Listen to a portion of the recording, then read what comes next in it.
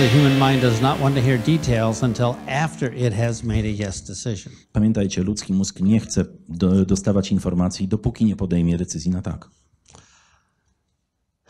Let me do a couple examples. Kilka przykładów. So I'm talking to somebody, oh, it's so hard to lose weight, blah, blah, blah. Więc mówię do kogoś, słyszę, ciężko jest stracić na wadze. So I'll say, um, so you find it really hard to lose weight, right? Odpowiadam, zatem ciężko ci zgubić kilogramy. Yeah. Tak. Would it be okay if you could lose weight just by changing what you have for breakfast?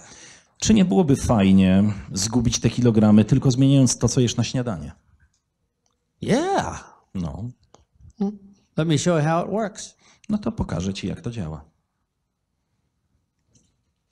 And now we can give them a little tiny presentation or a big one, whatever they want. I w tym momencie możemy dać im albo małą prezentację, albo dużą, cokolwiek oni chcą. Some more examples. Więcej przykładów. So you find as we get older, everything hurts, right? A, czyli jak się starzejemy, to wszystko boli, nie? Would it be okay if we could feel younger instead? Czy nie byłoby fajnie znowu poczuć się młodym zamiast tego? Yeah. Well, let me show you how this product works. No to pokażę ci, jak działa ten produkt.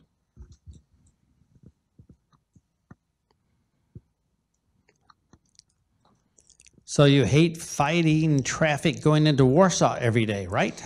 Więc masz już dosyć użerania się z ruchem i korkami jadąc do Warszawy codziennie, prawda? Would it be okay if you could work out of your home instead? Czy nie byłoby fajnie zamiast tego pracować z domu?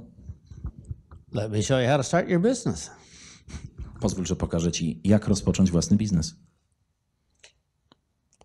So you find that you don't have enough money to do all the things you want, right? Więc nie masz dość pieniędzy na wszystko, co byś chciał. Would it be okay if you had a lot more money every month? Czy nie byłoby fajnie mieć więcej pieniędzy co miesiąc? Great, let me show you how it works. Skoro tak, to pozwól, że pokażę ci, jak to działa. When we talk to the mind in this exact order, one, two, three, four, Kiedy mówimy do mózgu dokładnie w tym, w tym porządku 1, 2, 3, 4, the mind says, I love that. no to mózg odpowie: Super, podoba mi się. I I love to buy things, I just don't like to be sold to. Um, lubię kupować rzeczy takie, które no, pozwalają mi osiągnąć te, te cele. Here's what they don't like. Nie lubię z kolei czego innego. Hi. Sit down. Cześć, usiądź. Here's a sample. To jest próbka. Let me tell you about it. Opowiem ci o niej. Here's my business card. A to moja I wizyta. want to show you a video. A to jest wideo. You got to come to a meeting. Musisz przyjść na prezentację. They don't like that, do they? Nie spodoba im się, nie? So instead, we want to talk to them one, two, three, four. Zamiast tego 1, 2, 3, 4. First, you have to trust me. Najpierw musisz mi zaufać, Then let's be interesting and talk about what's interesting to you, potem być zaciekawiony which is your problems. tym, co jest twoim problemem. Then let's close and find out if you want to fix your problem or not. Wtedy następuje zamknięcie, czyli sprawdzenie, czy chcesz rozwiązać ten problem, czy nie. And if the answer is yes, I can give you some details or presentation. I jeśli odpowiedź brzmi tak, można podać więcej informacji w formie prezentacji na przykład. People will love you, and it's all over in a minute or two. Ludzie będą cię uwielbiać i tylko to się liczy w tym momencie. Because some of the people that say yes will say, Here's my money, just get me the product. Więc niektórzy powiedzą, no tu są moje pieniądze, zdobądź mi ten produkt. And then some people will say, Tell me every detail you ever learned. A inni powiedzą, powiedz mi dokładnie wszystko, czego się kiedykolwiek o tym nauczyłeś.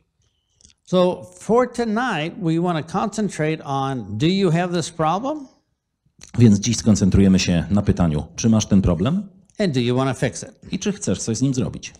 If you can master those two questions, E, Jeśli e, możesz opanować te dwa pytania, you could probably build your business to a full time income just knowing two sentences. możesz prawdopodobnie e, rozbudować e, swój biznes do pełnych rozmiarów, znając tylko dwa zdania. And all you would have to do in life is ask people, Do you have this problem? Do you want to fix it? I pytać ludzi, czy masz ten problem, czy chcesz coś z nim zrobić. And you'll have plenty of volunteers that say yes. I będzie wielu ludzi, którzy powiedzą tak. Are we ready to practice? Jesteśmy gotowi na poćwiczenie czegoś? I'm going to ask you to turn to your partners. Odwróćmy się do swojego partnera You're going to say, Do you have this problem? I spytajmy, czy masz ten problem.